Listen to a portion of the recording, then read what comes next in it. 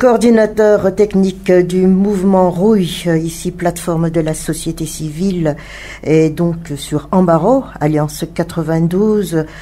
Monsieur, bonjour. Ah, bonjour madame, et merci de nous avoir appelés pour cette émission. De ce mouvement qui est devenu donc ici un acte jugé autant de part et d'autre, le mouvement Rouille en tant que société civile aussi, a émis un communiqué euh, par rapport euh, donc à tout ce qui s'est passé, et étant donné que l'on sait donc que ce qui n'a pas été accepté, c'était euh, ces lois électorales qui ont, ont été jugées de honte pour certains, mais également de pacifique, de démocratique aussi par d'autres, mais pour Rouille, c'est quoi exactement? En fait, c'est vrai que la raison de mécontentement de presque de toutes les parties prenantes, euh, sauf le, gouvernement et les partis au pouvoir, c'était l'élection des lois électorales, des, propositions de loi électorales au niveau de l'Assemblée nationale. À nous, au niveau du mouvement GUI, dès le début de la confection de ces lois électorales, on a cessé donc de, de proposer des améliorations sur les lois électorales actuelles. Et on est même allé à l'Assemblée nationale pour essayer encore une fois de convaincre les députés d'avoir, de voter des lois électorales qui seraient donc euh, appropriées pour avoir des élections euh, libres, transparentes, euh, inclusives et acceptées par tous. Nous sommes, je dois être clair, contre les lois électorales également qui ont été votées au niveau de l'Assemblée nationale, car nous avons constaté que toutes les propositions que nous avons donc euh, fourni au niveau de l'Assemblée nationale à travers les différents échanges avec les différents partis politiques et le gouvernement n'ont pas été considérés dans les lois qui ont été votées au niveau de l'Assemblée nationale. Même pas une phrase? En fait, euh, quelques phrases, mais les grands principes n'ont pas été inclus. Et si on, a, si on perd ces grands principes d'inclusivité, et surtout des électeurs et des, et des candidats, ces grands principes de, de, lutte contre la corruption et des fraudes électorales, ces grands principes sur euh, l'indépendance de la CENI, nous croyons que les lois électorales ne vont pas à nous amener dans des élections libres, transparentes et acceptées par tous. Et c'est pourquoi, juste après même les votes, on a déjà essayé également de faire encore, de refaire des tractations pour avoir donc des, des, des améliorations. Mais comme euh, le gouvernement et l'équipe euh, euh, des députés au pouvoir ont fait sourde oreille. Je pense qu'on est venu à cette euh, manifestation qui était prévisible en termes de, de réaction lorsqu'on n'ouvre pas d'espace de concertation en fait sur les lois électorales. Il y a d'autres espaces qui seront occupés par les citoyens pour, et par les autres, bien sûr. Alors vous avez dit, seules des lois électorales impartiales seront acceptées. Bien sûr. Et euh, qu'est-ce que vous allez faire maintenant, donc Vous, de votre côté?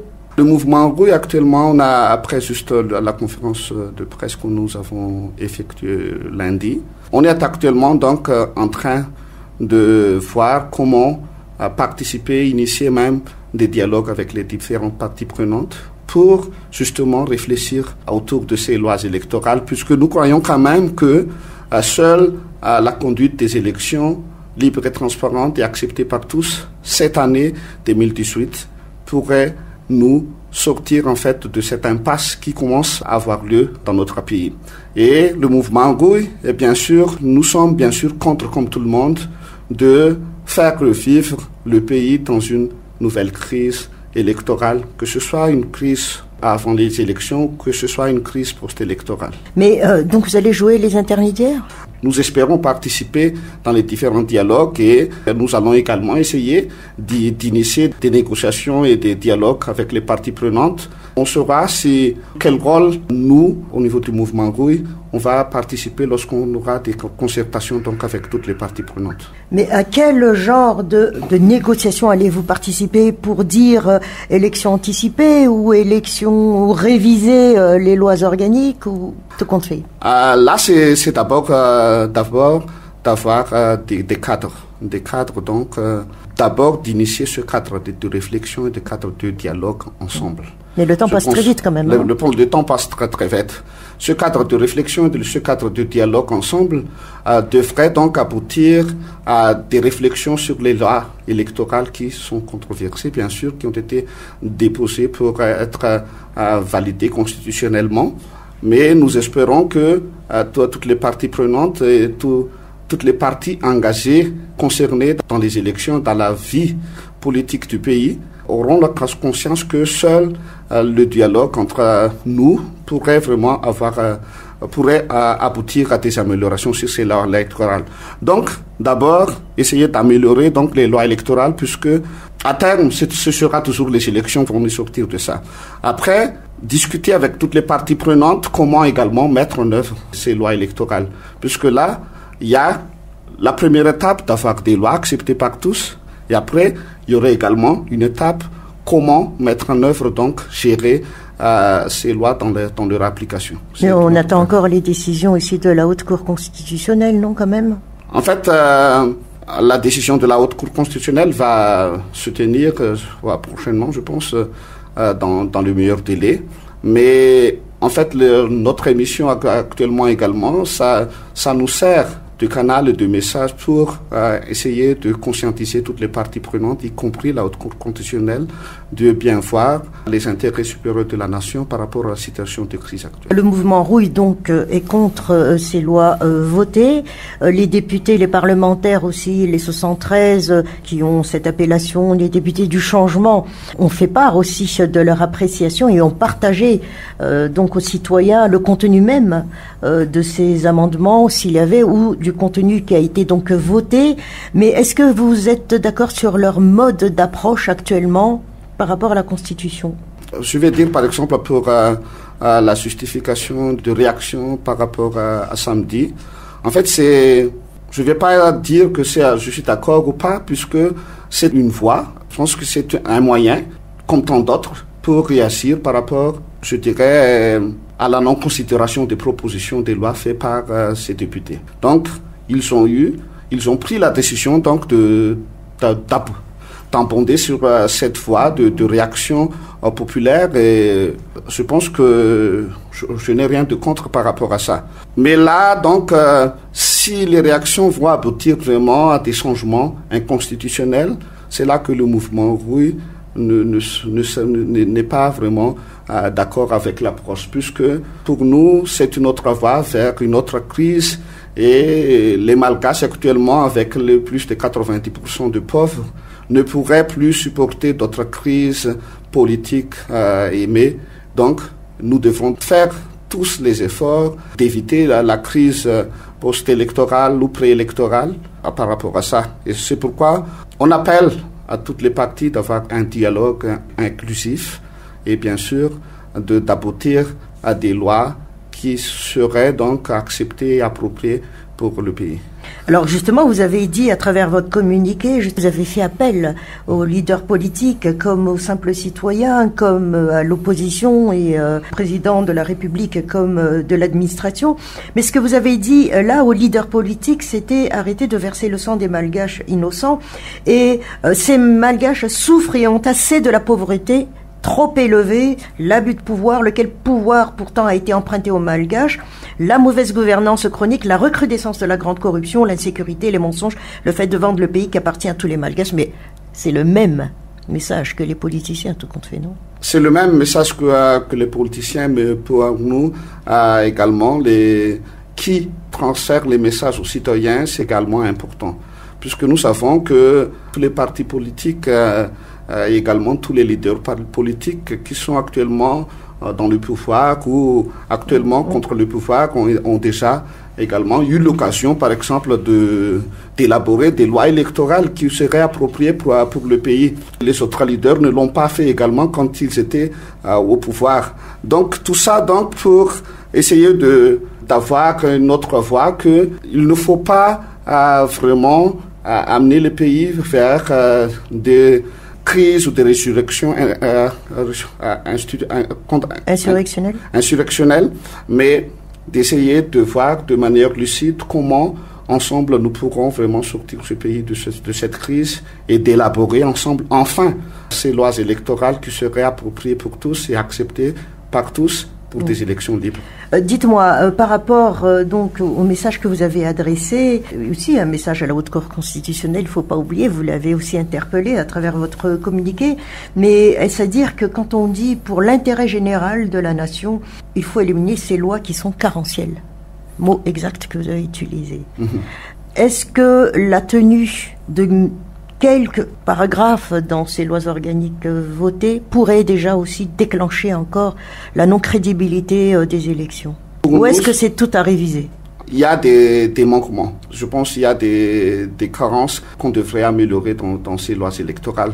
Mais plus important que ça, en fait, on devrait en discuter. C'était le manque vraiment de discussion, de considération hein, des, propositions des uns des autres qui, je pense, ont abouti à, cette, cette, euh, contestation de ces lois. Et comme euh, toute loi, même si ce sont des lois qui sont bien élaborées, même des lois bien élaborées, si elles ne sont pas discutées entre les parties prenantes concernées, ça suscite toujours des mécontentements. Mais pour les lois électorales qui ont été proposées, il y a beaucoup de choses à améliorer, bien sûr. Il y a des principes, par exemple, qui, euh, ont, qui ont été intégrés. Je prends un exemple, par exemple, le tout ce qui est lutte contre la corruption, tout ce qui est compte euh, des partis politiques, des comptes des campagnes et mm. tout ça. Mais lorsqu'on voit donc par exemple le, le, comité qui devrait gérer, contrôler ça, on a seulement par exemple les, les membres de l'ordre des experts comptables et la Cour des comptes pour nous, au niveau de la société civile, ça ne suffit pas puisqu'il s'agit par exemple de blanchiment d'argent, peut-être de corruption. Il faut donc intégrer le, le SAMIFIN, il faut intégrer la Bianco. Le Bianco, il faut intégrer également les organisations de la société civile qui travaillent dans tout ce qui est transparence budgétaire pour essayer de compléter le dispositif de contrôle de cela. Donc, même si on a intégré un principe d'amélioration, la manière dont les lois ont été écrites ne suscite pas la confiance des citoyens que ça va dire vraiment à des luttes contre la corruption dans les élections. Lors de notre dernière émission avec euh, le Mouvement Rouge, justement, il a été dit que de jamais vous avez été aussi solidaire de la société civile et vous avez proposé ensemble donc euh, des idées euh, pour ces lois. Est-ce que vous avez été vraiment touché par la non-considération de vos approches? En fait, nous avons été touchés puisqu'on a quand même investi pas mal de temps euh, pour euh, élaborer des propositions concertées avec euh, presque tous les partis politiques, toutes les parties prenantes, partager nos propositions bien à l'avance de l'élection de ces lois de ce loi au niveau de l'Assemblée nationale. Lorsqu'on a discuté deux fois avec euh, l'équipe du Premier ministre et le comité interministériel, euh, ils nous ont promis qu'il devrait y avoir un atelier d'échange avec toutes les parties prenantes pour essayer après donc de, de voir quelles euh, dispositions devraient être intégrées par rapport aux améliorations que nous avons proposées, mais que les autres partis politiques également ont proposées. Mais malheureusement, ces promesses n'ont jamais été tenues et on a vu lors des élections au niveau de l'Assemblée nationale que euh, la plupart des propositions n'ont pas été intégrées. Donc, euh, avec le processus qui n'a pas inclus donc cet euh, échange intégrant toutes les parties prenantes et avec les résultats qui ont, qui ont sorti donc de l'Assemblée nationale, on a de quoi être euh, mécontent. Et cela veut dire pour autant que la société civile est considérée par les politiques? Euh, Parce que là, c'est quand même le poumon de vie d'un pays si on parle des élections. En fait, c'est mitigé. Euh, c'est mitigé dans le sens où on commence à écouter le, la société civile, mais les réponses ne, ne, sont pas encore là. Les réponses dans le sens de, de l'intérêt général du pays ne sont pas encore là. Mais nous espérons que la situation actuelle, où le pays commence à entrer dans une impasse, pourrait également euh, ouvrir la voie vers euh, plus de coûts euh, pour toutes les parties prenantes et plus de coûts pour, envers la société civile, envers les, citoyens bien sûr. Et je pense que nos leaders politiques actuels vont avoir confiance que il serait mieux d'écouter quand même les voix des citoyens portés par les organisations de la société civile malagasy. Mais justement, est-ce ne, cela ne veut pas dire que vous devez renforcer votre euh, système de communication euh, pour les citoyens, sur tous les points, quand on parle de bonne gouvernance, quand on parle de, de corruption, toute autre élection Est-ce que ce n'est déjà pas une note que vous avez eue quand même? En fait, on renforce les, les communications actuellement au niveau national, mais de l'éducation carrément, de l'éducation électorale, de la lutte contre la corruption, de tout ce qui est amélioration de la transparence surtout et de la bonne gouvernance. Et on travaille, on travaille également justement avec les, les, différents acteurs, même les ministères, qui veulent vraiment collaborer avec nous pour, qui veulent avancer euh, dans l'amélioration des choses à Madagascar. Et c'est pas seulement au niveau national qu'on essaye de d'avoir des communications. Par exemple, nous allons, nous, nous sommes actuellement en train de mobiliser toutes les plateformes régionales, de communiquer également les principes, les, le contenu de, de ce communiqué au niveau des citoyens régionaux, puisque quelquefois, on parle ici au niveau national, mais ça n'arrive pas au fin fond même ça euh, des pas au niveau des, des, communes, au niveau des mm. districts, euh, donc euh, dans les 22 régions de Madagascar. Beaucoup d'interpellations, beaucoup de mises en garde, beaucoup de communiqués qui sortent un peu de partout, mais même de l'extérieur. Euh, tout dernièrement, euh, c'est-à-dire il y a aussi la communauté internationale, il faut pas oublier. Mm. Comment appréciez-vous ces choses-là? Nous, au niveau du mouvement je pense que pour nous, c'est positif. Euh, c'est positif dans le sens où plusieurs acteurs essayent de trouver des solutions pour euh, ce pays. Certes, euh, il y a peut-être des divergences dans les différents communiqués, mais ça montre quand même qu'il y a des intérêts à engager des discussions, à engager des, des échanges d'informations euh, sur la situation actuelle du pays. On était étonné s'il n'y avait pas de plusieurs communiqués qui sont sortis des différentes parties prenantes. Euh, là, on est peut-être on était, on serait un peu euh, vexé. Mais avec les, les, intérêts des uns et des autres actuellement, de trouver vraiment des solutions appropriées pour le pays, je pense que il serait plus approprié pour tout le monde de se mettre autour d'une table et de discuter ensemble comment trouver des solutions partagées approprier, discuter et de trouver vraiment les, les bonnes lois et les bons cadres institutionnels pour mettre en œuvre les lois afin de sortir donc ce pays de cette euh, situation d'impasse. Alors justement, à cette allure-là, donc, ce sera une vélocité de dialogue et d'échange qu'il faudrait faire. Ce sera au chrono, mais euh, n'empêche, d'autres euh, entités veulent aussi des élections anticipées. Là, étant donné, par exemple, au cas économique, c'est assez mitigé quand même au niveau économie. Qu'est-ce que vous en pensez? Je pense quand même que les dates qui sont inscrites euh, dans, la Constitution ne sont plus loin.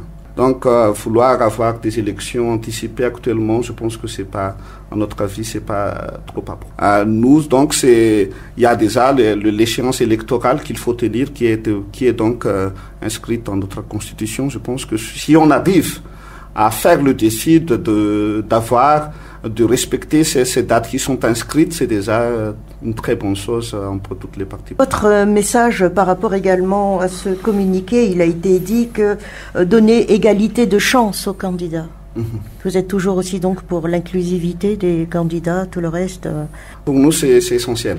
C'est mmh. essentiel pour euh, la sortie de crise. Euh, pour, ma, pour même le, le, principe des élections accepté par tous et, et le commencement, enfin, de sortir le, pays de cette situation de pauvreté, avoir tous les candidats qui pourraient, euh, je dirais, se mettre au démarrage des élections, c'est vraiment important. Qu'on ne rate pas vraiment euh, cette euh, opportunité d'avoir des élections inclusives, que ce soit pour les candidats, que ce soit pour les électeurs, que, parce qu'il ne faut pas oublier que nous, au niveau du mouvement rue, par exemple, on a proposé par la réouverture par partielle des listes électorales pour essayer d'inclure plus d'électeurs également, puisque c'est également un principe d'inclusivité important d'avoir euh, les électeurs euh, inscrits dans la liste électorale. Hum. Il y a un bouleversement là actuellement par rapport donc au contenu même de ces euh, lois, mais par rapport aussi aux dates qui approchent sans être certaines sur une date exacte, même si on fait référence à la Constitution. Mais euh, donc si on se tient à une idée commune après par rapport à ces lois, quelle est la leçon maintenant par rapport à tout cela? La leçon actuellement maintenant, c'est en fait toutes les parties devraient euh, assurer pleinement ses responsabilités, essayer de, de s'écouter entre nous.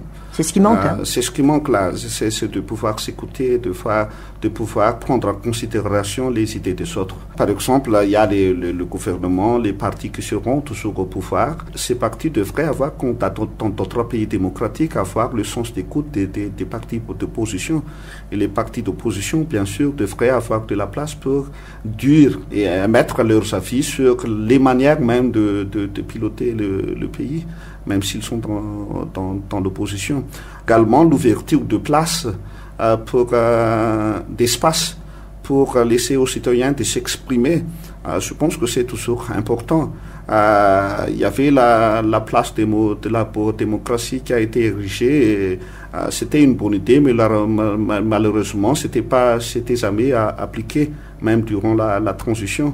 il faut que ce, genre de promesses soit tenu euh, par les différents partis politiques. Mais c'est pas à vous, justement, société civile, de prendre note de tout ce qui a été dit par les politiques. Oui, mais nous, on, va, on va essayer de, de, de, faire ça, de suivre les différentes promesses euh, électorales, que ce soit fait par euh, les partis ou les candidats qui seront qui seront élus, mais que ce soit fait par donc les candidats de, de, de, des, partis qui ne seront pas élus, mais qui seront peut-être dans, dans l'opposition. Tout ça, donc, s'il y a, on laisse l'espace d'ouverture l'espace d'expression d'idées. Les médias, par exemple, l'ouverture des médias publics à, à, tous les citoyens, il faut qu'on arrive à dépasser cette, cette mentalité que les médias publics devraient euh, appartenir à l'État, au gouvernement qui est au pouvoir. Il faut laisser vraiment les médias publics à faire leur mission de service public dans ce sens. Et nous essayons vraiment de, de, faire des interpellations pour que ça, tous ces principes soient inclus donc dans, dans les différentes euh, discussions qu'on aura avec les, les différents leaders parleurs politiques, bien sûr. Et nous, au niveau de la société civile, nous serons là donc euh, pour jouer nos rôles nos rôles en tant que garde-fou, nos rôles en tant que balise, nos rôles en tant que collaborateurs, nos rôles en tant que médiateurs sur le faux, euh, pour essayer de, de, contribuer à faire sortir ce, ce, pays de cette situation de crise qui commence déjà à. C'est inquiétant selon euh, vous? Ah, c'est inquiétant si, si les différents leaders politiques et les différents partis politiques ne seront pas conscients de, des résultats qui vont avoir, des, des, conséquences néfastes qui vont avoir lieu après ça, surtout au niveau des, des, des citoyens.